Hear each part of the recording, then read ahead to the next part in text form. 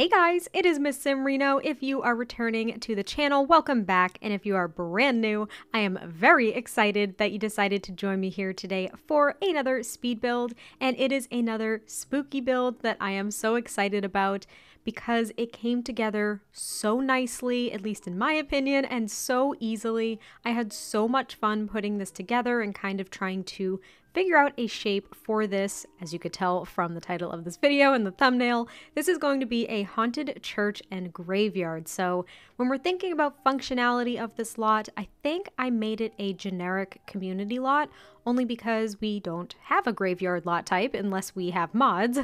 but I wanted to just make it generic. That way there were no requirements associated with it. I could put whatever traits I wanted to along with this lot and I don't know, there just wouldn't be a certain expectation for like NPC Sims showing up and doing particular things, if that makes any sense. And that means that the way that this will function is if you do have a sim pass away in your household or something like that, you could travel to this lot and I believe you can put down the gravestone and that way you'll actually have a graveyard kind of lot to go visit past loved ones, which I think is actually very sweet. I know it kind of is a spooky thing that I'm doing, at least with this one, but I think the functionality of a graveyard in The Sims 4 without having the designated lot type is actually pretty significant. I don't know. I haven't really played around with it that much because I don't do that very often, but I think it does work. And I also know that KawaiiStacie, if you guys are not familiar with her, she is an absolutely incredible modder. She is responsible for the infamous Slice of Life mod, but I believe she also had a mod at one point for graveyards, and you were actually able to have think funeral ceremonies or at least kind of like a grieving ceremony. So you could go to the graveyard, which she created an actual lot type for, and then you were able to have mourners come and arrive at certain times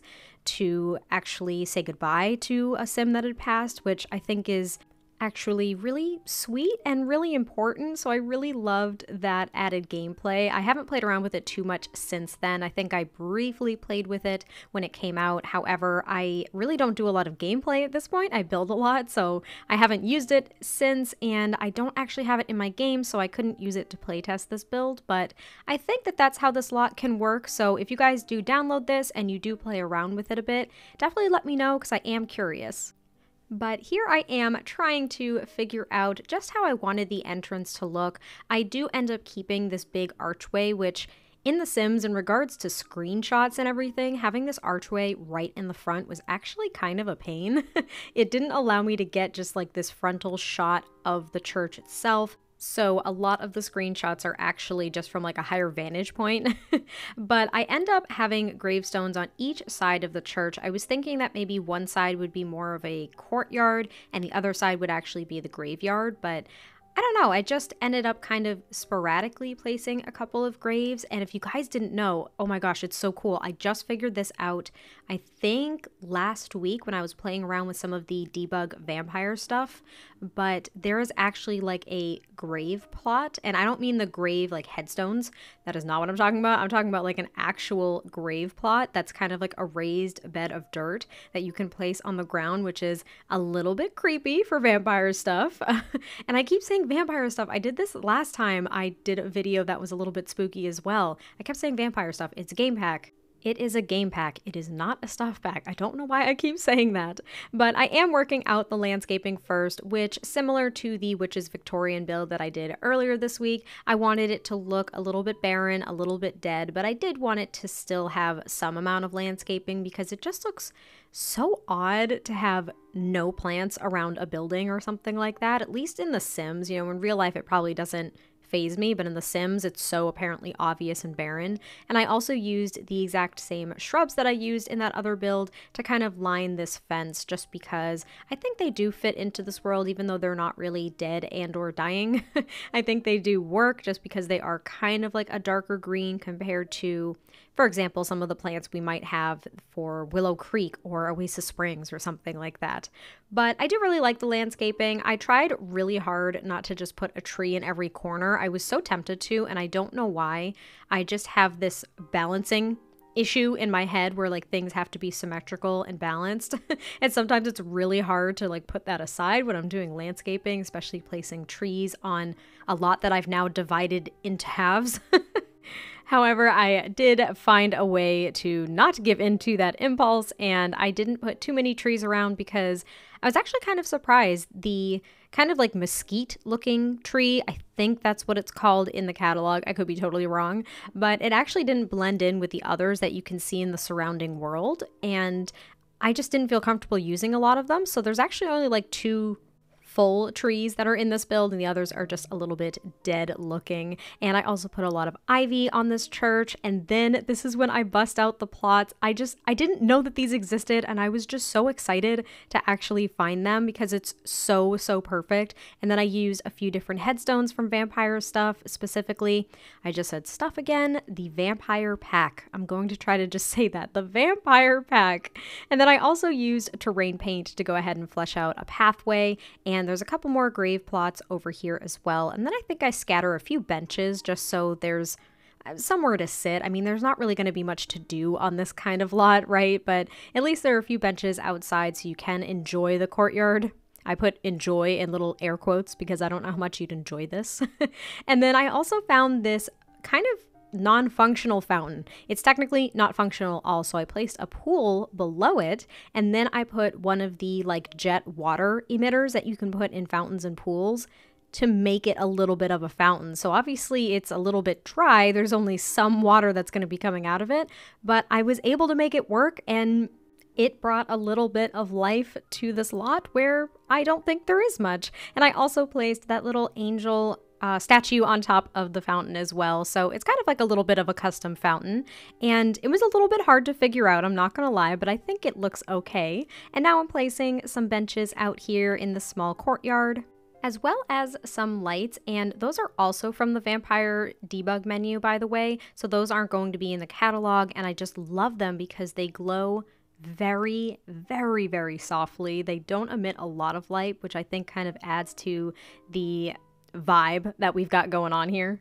I also added some lights, like kind of underneath the fountain. I don't think they really add that much light to the fountain itself, but it just gave a very, very slight hue. I'm not really sure. Maybe they really didn't do that much, but I thought that they added just a little tiny bit. And I also added a few more outdoor lights just so it wasn't entirely dark. And then I added a few of these light posts near the entrance as well. And then I spend a little bit of time just adding a lot of like crack and spiderweb details. Again, just like I did in my other build, I think they add so much character, especially to a build like this, where if I'm thinking that it's abandoned or maybe it's not even abandoned, maybe this is like a vampire church. I, I don't know. maybe it's used for those who are turning into vampires, so they kind of mourn their mortal life, but then they end up springing to life again as a vampire. I I really don't know. Um, I haven't played with vampires that much. I did for a very short amount of time. I ended up having my sim ask to be turned, and they were turned, and I played through some of the well, it's not like ranks, but I suppose we can kind of consider it that kind of the ranks to be more so immersed with like vampire lore and different abilities, kind of unlocking those with the dueling and, and whatever the case is. It's very similar to how they did spellcasters as well. So I don't know, it's kind of an idea, but I added a ton of ivy around this build too. I pulled out some of the ivy from the Discover University debug menu as well. I did have to make some slight adjustments just because those pieces of ivy are pretty big and they were kind of clipping onto the interior at times. So I had to make a few tweaks here and there, but it ended up working and I think it looks really, really nice. I mean, I can't wait to hear what you guys think of this, but I think it's perfect. And like I mentioned at the beginning, the shape of this church is so simple, but it actually took me about three days to figure out. I didn't really know what I wanted it to look like. I I kind of knew I wanted it to look semi Victorian and just really, really old. I wanted it to fit into this world, but I just wasn't quite sure what I would put on the inside either if it was abandoned. Like, I just didn't really know what to do, but I am working on the other side of the graveyard now, and there is a statue of Vlad. I can't say his full name because I honestly don't know it, but Vladimir Strauss, actually, is that his name? I know it's a little bit longer, I think, too, but I believe that's his name. And I don't know, I wasn't necessarily thinking that it was him per se. I was just thinking that maybe it was some kind of memorial. I'm not quite sure. We don't have mausoleums in The Sims 4, which I kind of really wish we did. I think it was The Sims 3 is the most recent recollection that I can kind of pull from where I think there's actually a graveyard lot type in The Sims 3. I haven't played it in a long time now. I should probably dive in. I, I have all of the games. I should probably do that. Um, but there's a graveyard lot type, and I think there's a mausoleum. I think you can be like a part time uh, mausoleum like attendant or something too. And the graveyards are always haunted, so that's kind of what I was thinking. It's not really a mausoleum, but it's at least a bigger statue, I suppose. I don't know. But now we're on to the interior, and I use these really beautiful and spooky looking chandeliers from Vampire game pack, the vampire game pack. and I also have just a ton of different candles in here because it just really adds to that spooky vibe. And I was going to use these kind of looking, they kind of look like pews from Get Together, but then I realized that we got one with the vampire pack. So I use those instead and I add some candles on the wall. And at the front of the church, like I said, thinking that this was where. I don't know, people that were about to turn because I I know there's probably different schools of thought, but in The Sims, it's pretty instant. However, I think in a lot of actual lore about vampires and stuff like that, it is a little bit of a process. So I was thinking that the person that was about to be turned would be in this coffin at the front of the church. And then, when they had completely turned and the transformation was successful, they would rise out of the coffin. It's so creepy, but I think such a cool thought. And that was just my idea because I really wanted to use this old school wooden looking coffin instead of a lot of the fancier ones that we have with vampires as well.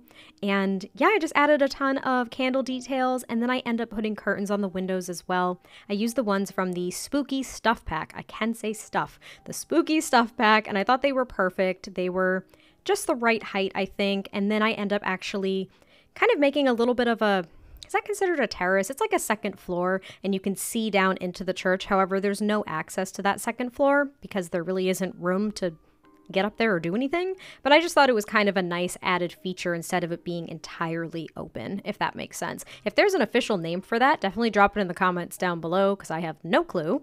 And then I add a statue of a gargoyle there and add a little runner rug which is also from vampires. And I didn't realize that we got one like that with Realm of Magic too, where you could kind of put the pieces together, which I think is actually kind of a neat idea. I like that with the rug. At least with runner rugs, it kind of works. And then I just add the crack details and everything inside as well to make it look very old and abandoned. And that is actually pretty much it for the build. So I hope you guys did enjoy this. I hope you enjoyed a rambly voiceover this morning. And I will catch you guys next time I post a video, and I will talk to you all soon. Bye!